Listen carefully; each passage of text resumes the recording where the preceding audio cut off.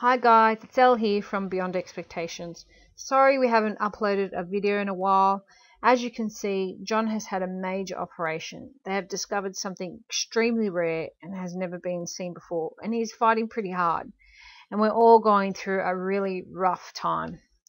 Please leave your success stories below and tell us how we have made a positive difference in your life. So when Jon wakes up, he has something to look forward to. We thank you so much for all your support.